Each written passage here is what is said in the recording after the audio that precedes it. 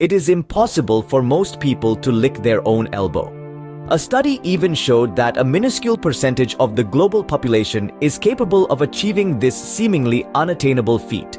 This peculiarity, which you may have previously thought to be nothing more than a quirky tidbit, is actually deeply rooted in the sciences of anatomy and physiology. Human beings, as you may be aware, are part of the primate family. Our primate cousins, the chimpanzees and orangutans, are known for their flexibility. They can lick not only their own elbows, but also their backs, thanks to their versatile and flexible skeletal structures. Humans, however, evolved differently as we began to walk upright. Our upper bodies, particularly our arms and shoulders, became less flexible to accommodate this change in locomotion, which is why most of us can't lick our own elbows. Our shoulder joints are ball and socket joints, allowing for a good amount of mobility and flexibility. But unfortunately, it isn't enough to bring our mouths close to our elbows. Additionally, the length ratio between the upper and lower arms also plays a significant role.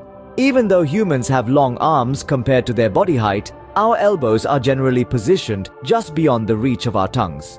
Moreover, human tongues aren't long enough to reach our elbows, even if we could stretch our arms that far.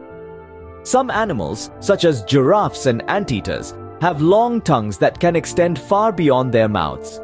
However, human tongues are much shorter and are predominantly designed for speech and eating, not for reaching distant body parts. This seemingly mundane fact can be a fun icebreaker at parties or social gatherings. You can even turn it into a game. Who can get their tongue the closest to their elbow? But it also has its roots in our evolutionary history, reminding us of our transformation from quadrupeds to bipeds and our shift from the flexibility of our primate ancestors to the rigidity that is characteristic of modern humans.